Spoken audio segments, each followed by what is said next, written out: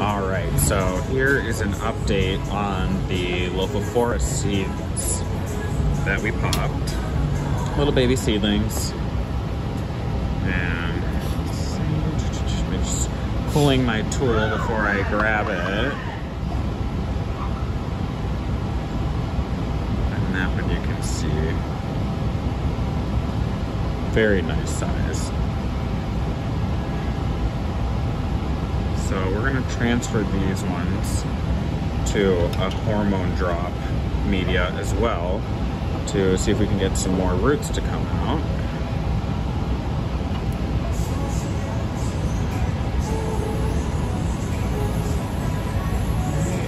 Uh, perfect.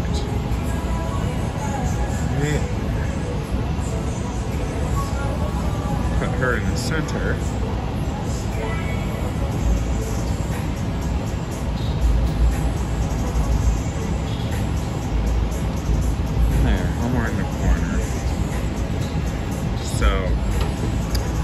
Gonna move all of the seedlings over and the callus I'm going to put in a separate container.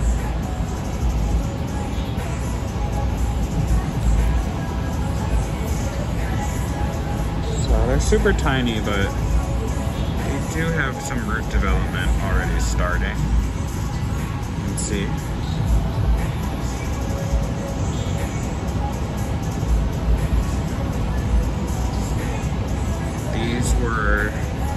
Put into tissue culture in January, actually.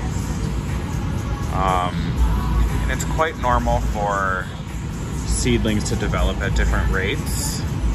Um, they're very unique in their structures. These are from seed also, so they're all different. Um, but they have very unique characteristics.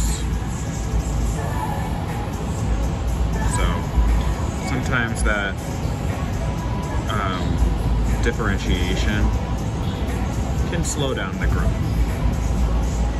Right? So it's crazy. They're the same age. But the babies have roots, and these larger ones do not.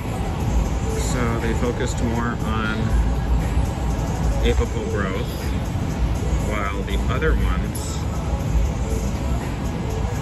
focused much more heavily on complete development. See, there are still some big boys in here. Put them together on this one side.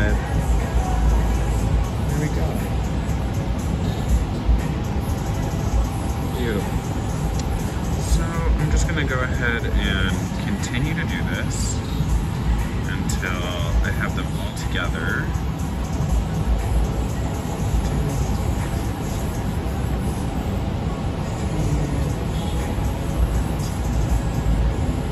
There's about 80 total seedlings that I will be putting in this container. Now that they've, they're already on um, subculture um, seven. I've been moving them a lot. So I know they're clean, so I'm not worried about any of the other ones contaminating the other seedlings. And if they are, we will open it up, rewash them, and put them back inside me. So it's not a problem. You can see the diversity in the structures and sizes. So I'm just gonna keep going along. And you'll see next time. Thanks for joining.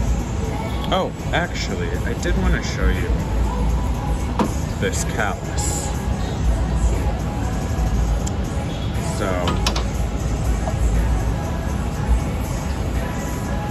do you see how it's falling apart? That's known as friability.